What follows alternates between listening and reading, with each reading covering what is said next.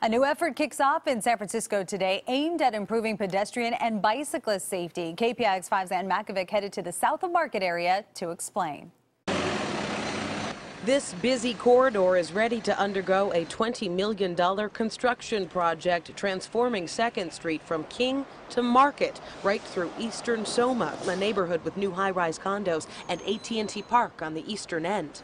It will turn into a stretch that better serves our city for the 21st century. Here's the city sketch of how it will eventually look. A wide sidewalk, a separate bus lane, two raised bike lanes, one going each way, and a turn lane in the middle. And this is a bird's eye view from above 2nd Street, where it intersects with Folsom and Brannan. While the city's ripping up the roadway, they'll replace the water and sewer systems too. That need was highlighted just yesterday with this water main break at 2nd and Harrison. We all, as a city, do have to understand that construction does interrupt a little bit in order to gain something more valuable. The changes are meant to make 2nd Street safer. It is part of the city's Vision Zero program. The goal, eliminate all traffic deaths by 2024. If all goes as scheduled, the project should be finished by fall 2019.